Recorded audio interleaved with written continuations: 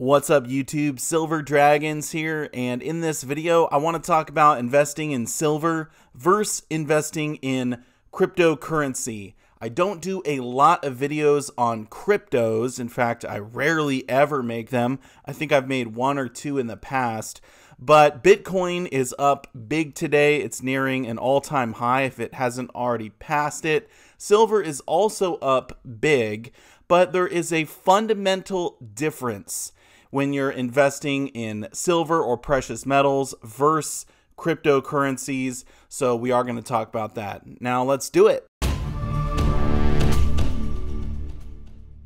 Thank you so much for watching my video. I do sincerely appreciate it. If you want to learn more about investing in precious metals, or if you just want to watch awesome videos about gold and silver, make sure to subscribe to my YouTube channel. All right, so let's talk about investing in silver versus investing in cryptocurrency. Now, it's interesting that I even use the term investing in silver because a lot of people that buy silver, especially if you're buying physical silver, traditionally you don't really look at it as an investment. You look at it as maybe insurance, maybe a storage of your wealth, maybe as a savings account, something like that. Perhaps a hedge against inflation, or maybe just an alternative investment. Now, I know a lot of people that buy Bitcoin, Ethereum, some of the other cryptocurrencies, they look at those as an alternative investment and perhaps even a hedge against inflation as well when you're buying cryptocurrency or when you're buying silver or gold,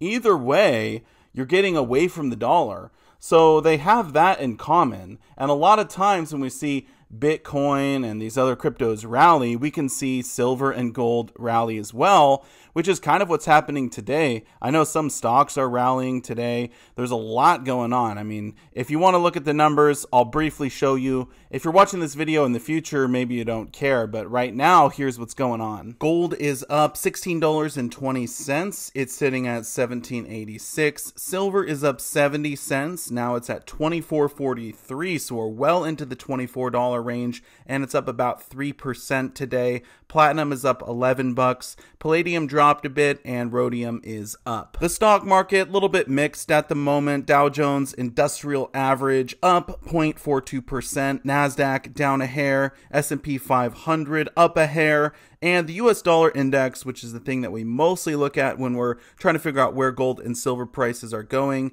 is down, which is no surprise. Over in the land of cryptos, we can see Bitcoin is at an all time high, over $66,000 for one Bitcoin. I think it actually hit $67,000 at one point today, but it's kind of bouncing around as they do. It's up at the moment 3.87%. So that's actually similar to what silver is doing. Ethereum up 5.68%. Litecoin crushed it today, up over 10%. Binance around 3%, and Ripple 3.92%. So there's a little snapshot of what's going on at this point in time. But what's going to go on moving forward? Forward? What's going on from here? Are things going to get better for the dollar or worse for the dollar? I'm going to give you two guesses, and both of them don't count because the answer is it's going to get worse. The government has been trying to force down our throats this narrative that the inflation we're seeing is going to reverse it's not going to continue to be as bad as it is. First, they say it's transitory, episodic, but we know that's not the case. I'm not going to get into how they're manipulating the inflation numbers. They have been doing that for years. They can only manipulate it so much. The price of everyday things is going up, and when we see that, we know hey, Inflation is happening. Here's a comment on my last video, Bob talking about a roast he bought, and it was three times as much as last year. It's good he was actually able to find it because some stores are low on supplies. I wonder why they're low on supplies. Are people buying stuff up? Hmm. Maybe people are starting to wake up and realize that their cash is not worth the same tomorrow as it is today. Look at this sign here. McDonald's hiring $21 an hour. 21 bucks an hour to flip burgers? My goodness. And they're blaming this on supply shortages? I mean, come on. You gotta get your money out of cash and put it into something. which is why I'm making this video, right? Should you be throwing your money at cryptos, or maybe you should be looking at something like precious metals? Now, obviously, I'm pretty biased when it comes to what you should be throwing your money at because I run a precious metals YouTube channel, right? I've been making videos on silver for years and years and years. So this is what I would suggest. But I want to take a step back and give cryptos a chance, okay? So, what are cryptocurrencies? Well, if we look at this from a very fundamental point of view. We're not looking at the decentralized nature of them. We're not looking at the blockchain technology, the means of exchange, right? The potential to buy and sell things without the government spying on you with the $600 limit that they're probably soon going to put into place, right? Every transaction over 600 bucks Government's eyes are going to be on it. We're not looking at that, but if we take a look fundamentally at what are cryptos, not what they do, but what are they? They are data, right? At the end of the day, they are data. Now, you don't always need the internet to access cryptocurrencies. You sometimes can do it without the internet. However, you are going to need some sort of power source to access them because you need a computer hard drive, etc. So, they're data and what would happen if there was an absolute SHTF situation, right? What if everything starts to fall apart? Are you going to be able to access this data in an emergency? Maybe, maybe not. But is there anything physical? Is there anything tangible that you can grab and hold on to? And the answer there is obviously no, right? I mean, you can't hold data in your hand. Sure, I could hold a uh, USB drive in my hand, I could hold a Blu ray disc in my hand, but I can't actually hold the data. It's just numbers, right? Now, does that mean it has no value at all? Well, absolutely not. There is value in data, and is the only reason you're purchasing it for the end of the world? No, you're probably not thinking that the world is going to end anytime soon. I know I'm not thinking that the world is going to end anytime soon. I don't know that the dollar is going to die in my lifetime. I mean, it might. But uh, again, that's, I guess, a topic for another video. So, is there any value at all in cryptos? Well, yeah, there's the things I talked about before decentralized means of exchange, etc. But what about a storage of your wealth? Now, if you want volatility, if you want the high risk and high potential reward, then maybe you don't mind it. But you should know that cryptos are very volatile. No one is debating this. Whether you love cryptos, you hate cryptos, you have to understand they can go up really fast, they can go down really, really fast. So that's something to keep in mind. Um, but if we're looking at them in general, you know, I, I would say they're not for everyone. They're for the people who have that really high risk tolerance.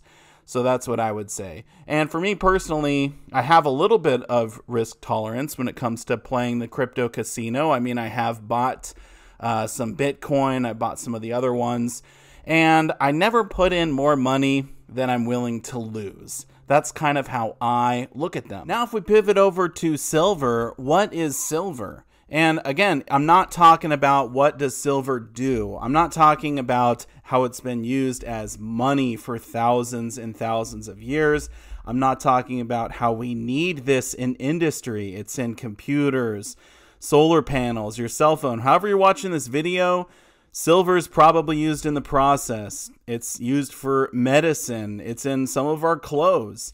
There's a lot of uses for silver. I'm not talking about what silver does, but what is it? Silver is an element. It's on the periodic table of elements. The atomic number is 47.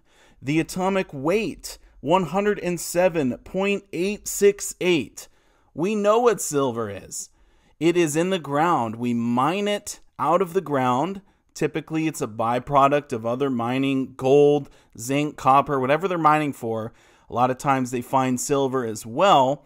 And then that silver is refined and it is made into bars. And then these bars, they go to industry, some of them go to investment. And you can purchase physical silver.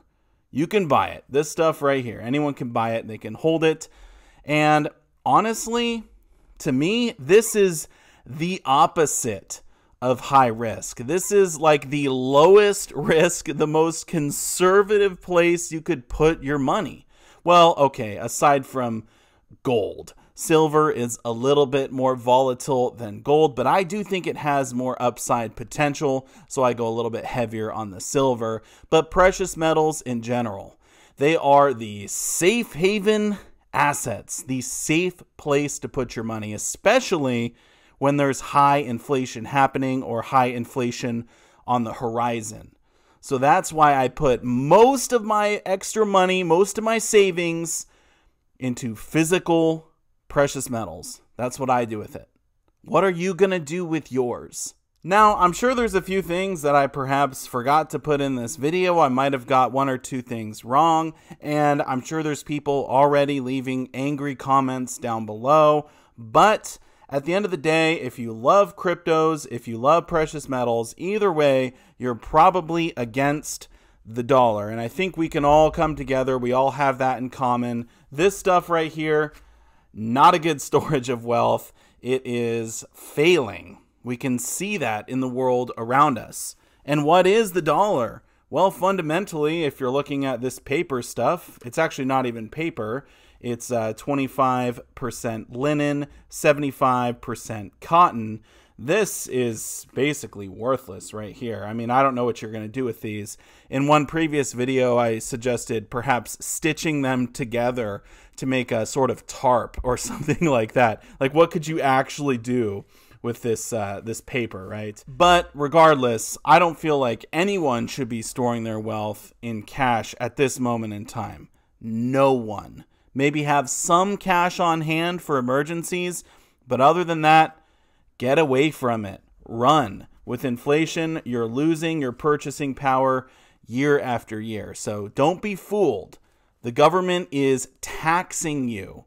They're lowering the value of the dollar by printing it into oblivion. Don't be fooled. It is a tax. Run away from it. You don't have to be subject to that tax. So you can put your money in precious metals. You could put your money in cryptos. Either way, get away from the dollar. I think you all know where I stand. I prefer precious metals, they're much safer. But cryptos, yes, uh, they're an alternative investment. They're not tied to cash. There are some things I like about them, but overall, I feel like they're too volatile for me. I don't really have that much of a risk tolerance. And if you look at potential upside too, I mean, silver is at 50% of its all time high right now, 50% of the way there. Bitcoin is already at its all time high. Now, could it keep going up from here? Could it double, triple? Yeah, it could. We could definitely see that happen. Or we could see it get crushed down to zero. Well, maybe not zero, but you get my point. So, anyway, I would love to hear what you all think about cryptos and precious metals. Feel free to leave a comment down below in the comment section. This was actually a really difficult video for me to make. I know this is kind of controversial. It's hard for me to talk about cryptos. It's not that I don't know anything about cryptos. I actually have a lot of friends that are really into cryptocurrencies, not just Bitcoin, but some of the other ones. Uh, typically, they don't go heavy on like the meme coins, you know. Doge, Shiba Inu, these things. Um, they're more into the the legit ones, right? So uh, anyway, it's kind of a difficult video for me to make talking about all of this. I don't normally talk about it on my channel. I prefer to stick to the precious metals because this is really what I believe in. I feel like if you want to store your wealth, you want to have a hedge against inflation, you want this protection, you should go with precious metals, physical precious metals. You should stack them because you can literally hold them in your hand, right? I can do this. I know I have physical wealth, it's right here. And when the dollar gets crushed, this is going to retain its value over a long period of time. So there you go. That's my thoughts on it. Anyway, I do want to say a massive thank you so much for watching my video, and I'll see you all in the next one. Silver Dragons out.